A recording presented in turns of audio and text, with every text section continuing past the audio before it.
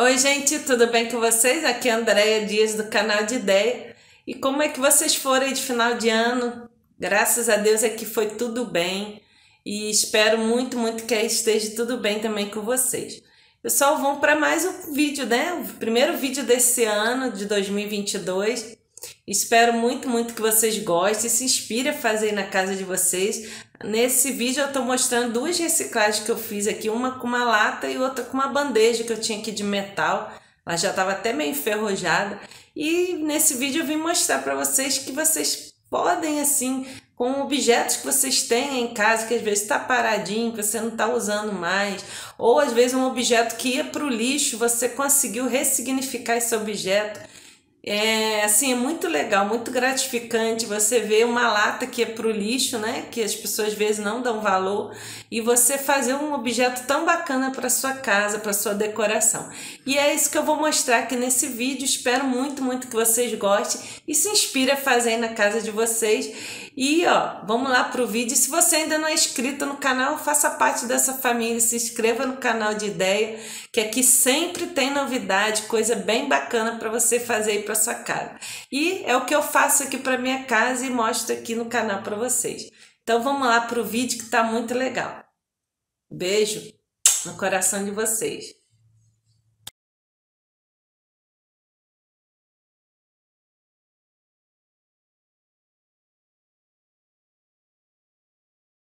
Bom, pessoal, começando o projeto de hoje, ó, tô tirando aqui a alcinha da lata e fui tirando assim, ó, fui fazendo força, fui com a, com a chave de fenda, ó, consegui tirar, gente, olha, consegui tirar, viu? Então ficou assim, ó, eu vou dar uma lixada nela, vou dar uma... E aqui eu vou furar, gente, precisa sair o gás que tem dentro dela, ó. essa lata tem um gás se você não tirar o líquido que tá ali dentro, ó, ó o barulhinho. Tá vendo, gente? Então tem que tirar o gás, porque senão espirra o resíduo do líquido todo que tá ali dentro, vem em cima de você se você não tirar esse líquido, né? Esse gás. E aqui eu pedi ajuda ao meu universitário predileto, que é meu marido, porque tinha que fazer uma forcinha aqui. então, gente, é quando assim a gente pede ajuda.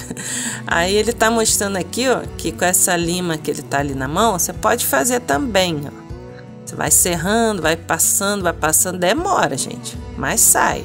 Mas aí a gente, como tem esmerilhadeira aqui em casa, a gente resolveu usar essa ferramenta para nos auxiliar aqui, ó.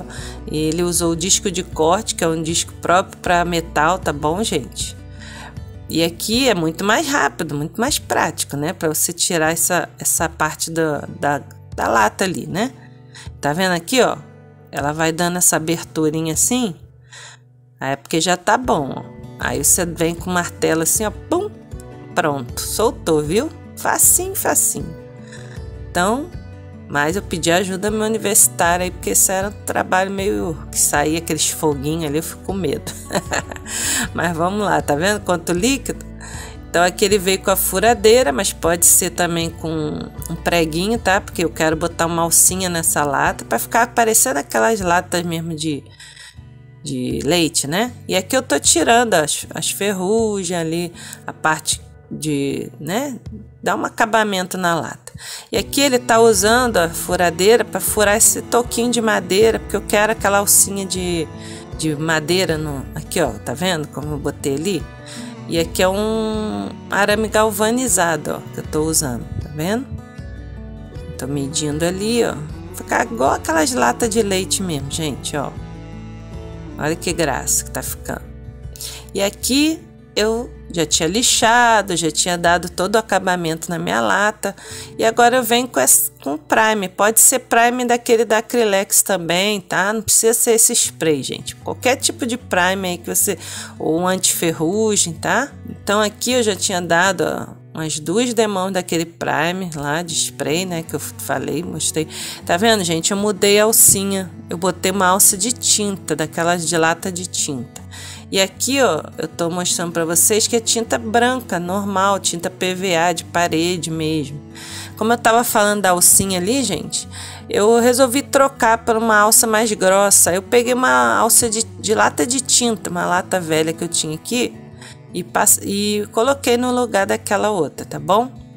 Então aqui eu dei três demão de tinta branca, tá bom?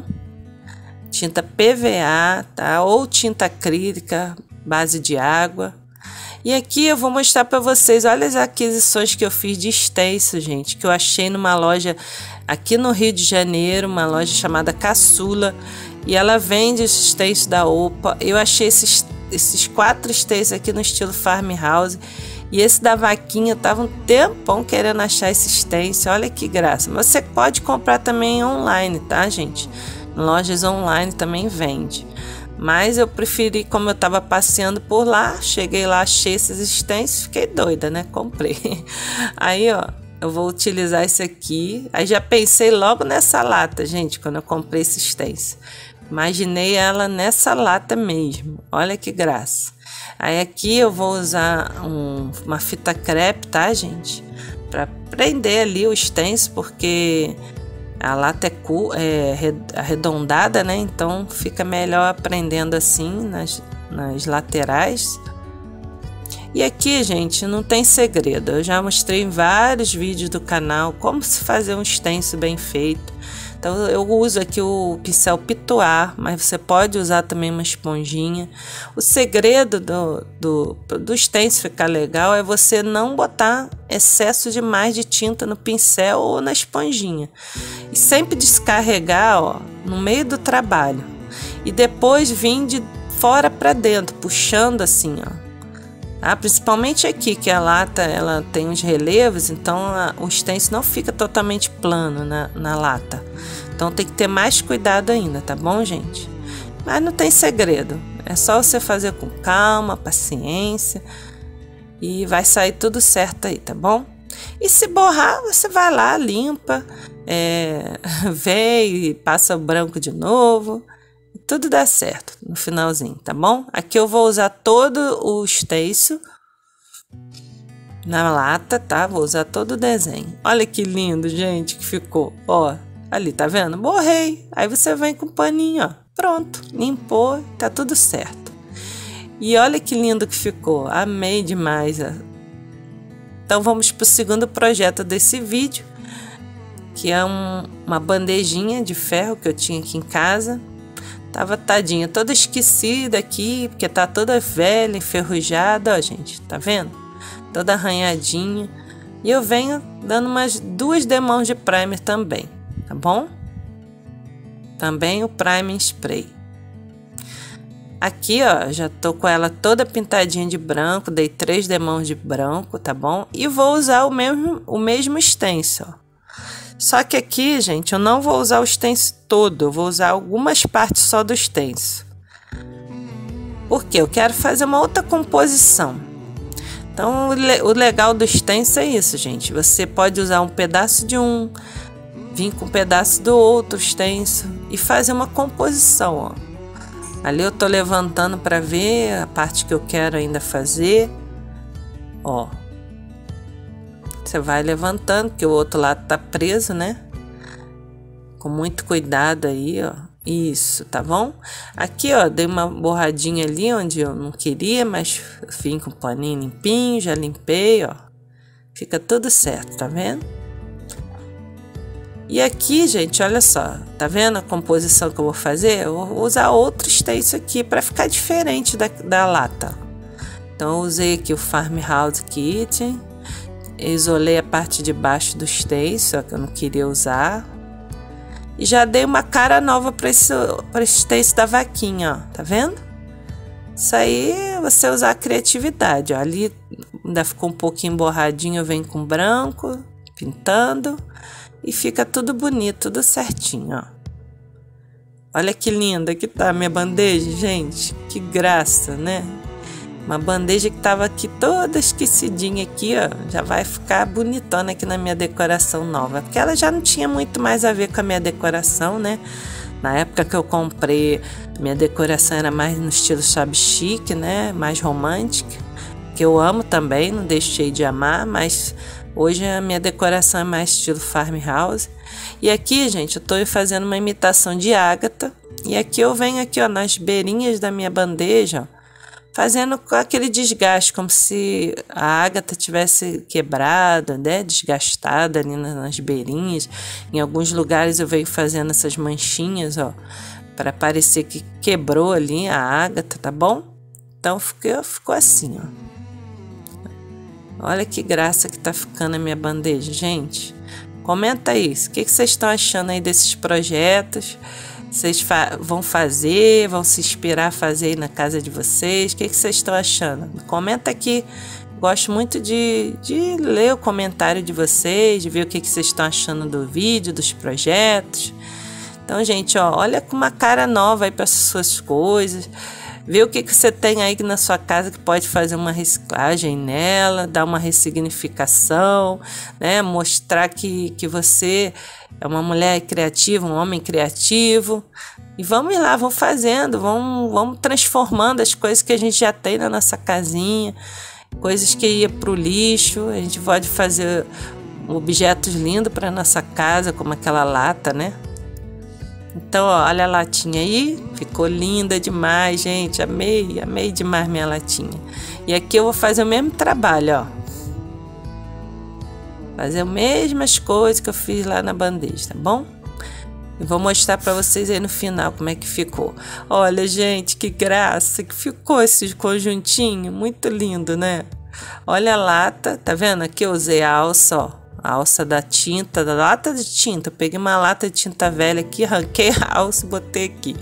E olha que graça que ficou. Botei aqueles lacinhos ali. E ali eu tinha dado três demãos já de, de verniz acrílico, tá, gente? E olha como que ficou lindo na minha decoração, gente. Olha que charme que ficou minha bandeja aqui. Amei demais, demais o resultado. Ficou muito fofo, muito fofo a minha, minha nova bandejinha aqui no meu armário, que eu amo, esse meu armário verde. Sou apaixonada pelo meu armário, que eu coloco coisas que eu gosto, né? Ficou muito lindo, olha. Amei. E olha que graça, gente, ficou a latinha. Você pode usar ó, com colher, você pode usar com planta, aí vai da tua criatividade. Então, pessoal, se você gostou desse vídeo, se inscreva aí no canal, faça parte dessa família. Não deixe de se inscrever, que é muito importante para o crescimento do canal, tá bom? E não deixe de ativar o sininho para o YouTube te informar que tem vídeo novo toda semana, tá bom? E não deixe de dar o joinha, gente, que é muito importante para o engajamento do canal, para o YouTube entender que você gosta do conteúdo que eu trago aqui para vocês. Então não deixe de dar o joinha e nem de comentar, porque eu gosto muito de ler o comentário de vocês, tá bom, gente? E ó, não me deixe de me seguir também lá no meu Instagram, tá bom? Pra gente conversar, pra gente bater um papo lá, tá? E você ver as coisas que eu posto por lá também. Então, beijo, beijo para vocês e até o próximo vídeo. Tchau, gente. Fica com Deus.